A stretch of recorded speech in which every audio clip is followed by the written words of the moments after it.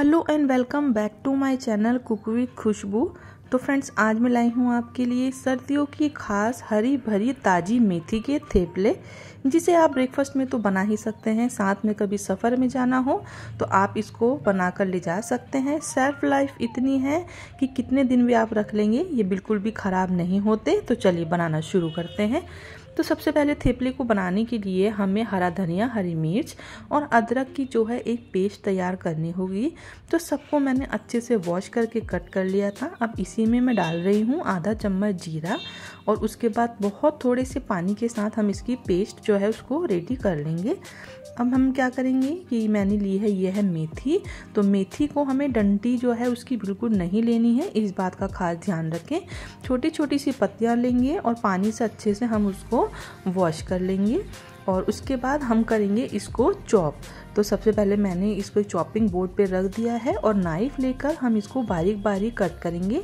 तो डंडी वगैरह हमें बिल्कुल भी यूज़ नहीं करनी होती, वरना क्या होता है कि जब हम थेपलों को बेलते हैं तो उसके बाद वो फट कर बाहर आ जाती है तो उससे बहुत ही बेकार हो जाता है और उसको भी फ्राई करने में भी पराठों को, थेपलों को बहुत दिक्कत होती है। तो इस तरह से ध्यान रखें कि डंठल को हटाकर बारीक बारीक पत्तियों का ही यूज़ करें।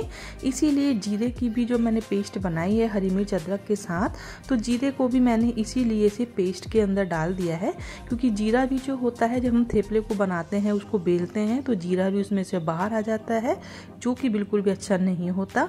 तो ये इस तरह से मैंने इसको चॉप कर लिया है। अब सारी मेथी को हमने चॉप करा है, इसको हम साइड में रख के आटा लगाएँगे।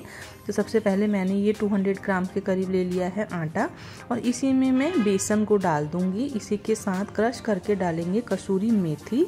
इससे टेस्ट बहुत अच्छा आता है। एक चम्मच के करीब हम इसमें डाल देंगे क्रोम सीड्स अजवाइन आधा चम्मच कश्मीरी कलर, आधा चम्मच हल्दी का पाउडर एक चम्मच लाल मिर्च का पाउडर और एक चम्मच हम डाल देंगे सेसमे सीड्स यानी कि सफ़ेद वाले तिल जो होते हैं। और आधा चम्मच हम ऐसा फटेडा हींग डाल देंगे।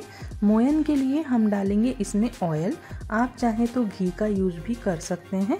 और इसी के साथ जो हमने हरा धनिया, हरी मिर्च और अदरक और जीरे की पेस्ट रेडी करी थी, उसको भी हम इसमें डाल देंगे। इसी के साथ हम डालेंगे इसमें दही। तो दही ज़रूर से डालें। इसी से थेपले जो हैं बहुत टेस्टी बनते हैं। अब हम डालेंगे लास्ट हमारा मेथी, जैसे कि नाम ही मेथी के थेपले हैं। तो इस तरह से इसको डालने के बाद हम हाथों से इसको मिक्स करेंगे और उसके बाद जब हमें लगेगा तभी हम पानी का यूज़ करेंगे। तो ये जो थेपले होते हैं, ये ब्रेकफास्ट में तो बनाए जाते हैं, साथ में बच्चों के स्कूल टिफ़िन में भी आप इसको रख सकते हैं और अगर सफ़र में कहीं जा रहे हैं तो भी आप इन थेपलों को बना सकते हैं। बहुत ही टेस्टी होते हैं और आप इन्हें कितने दिन तक भी रख लेंगे, बिल्कुल सॉफ्ट रहते हैं। मार्केट से भी अक्सर हम लोग थेपले लेते हैं, उसकी भी सेल्फ लाइफ बहुत होती है। लेकिन घर में आप अपने हाथ से बनाएँगे तो बहुत ही स्वादिष्ट भी बनते हैं और साथ में बहुत सारे भी बनते हैं। तो इसको बनाकर पर भी आप स्टोर कर सकते हैं। तो आपने बीच में देखा होगा कि मैंने थोड़ा सा हरा धनिया डाल दिया था और इसी के साथ जितने पानी की ज़रूरत हमें लगी है, उतने पानी को डालकर हमने एक आटा लगा लिया है। अब इसके ऊपर हम थोड़ा सा ऑयल ग्रीस करेंगे और इसको हम थोड़ा कम से कम 15 से 20 मिनट के लिए रेस्ट के लिए रख देंगे, जिससे कि हमारे जो थेपले हैं वो और भी टेस्टी और सॉफ्ट बने। अब छोटे साइज़ का मैंने डो ले लिया है और सूखे आटे में उसको कोट करने के बाद हम इसको रोलिंग पिन से बेलना स्टार्ट करेंगे।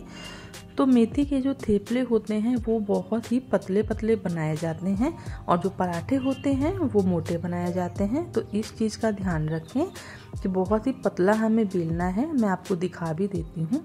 तो ये देखिए इस तरह से ये हमारा जो बहुत बढ़िया सा थेपला तैयार हो गया है और आप इसको देख रहे होंगे कितना बारीक ये बनाया है। इसी तरह से हमें सारे ही थेपलों को जो है तैयार कर लेना है। तो सर्दियों की शुरुआत में ही मेथी बहुत अच्छी आने लग जाती है। तो हम कभी मेथी आलू बनाते हैं, कभी मेथी मलाई मटर और कभी हम पराठे और कभी हम थेपले। तो जो थेपले होते हैं, उसकी सेल्फ लाइफ इतनी होती है कि ये आराम से 10 से 15 दिन भी चल जाते हैं। बस आपको इसे बहुत अच्छे से जो है कवर वगैरह करके रखना होता है। थेपले बनाने का बस यही फ़ायदा होता है। तो ये देखिए, बहुत ही बढ़िया से हमारे थेपले बनकर तैयार हो गए हैं और मैंने कम से कम पाँच से छः जो थेपले होते हैं, उसको मैंने बना लिया है।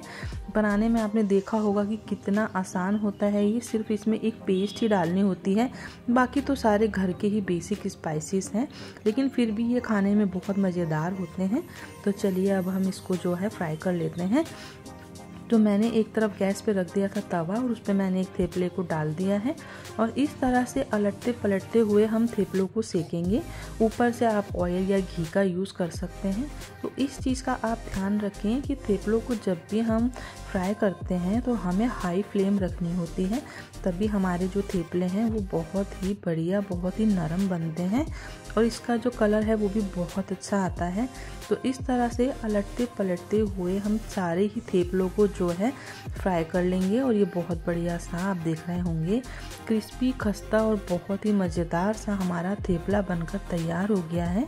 तो बच्चे भी वैसे मीठी वगैरह खाना पसंद नहीं करते, लेकिन आप उन्हें स्कूल के टिफ़िन में भी इन थेपलों को दे सकते हैं। तो इस थेपले को मैंने दही और हरी चटनी के साथ सर्व किया है। तो आपको अगर वीडियो पसंद आई हो तो वीडियो को लाइक करें और अगर आप मेरे चैनल पर नए हैं तो प्लीज़ मेरे चैनल को सब्सक्राइब कर लें।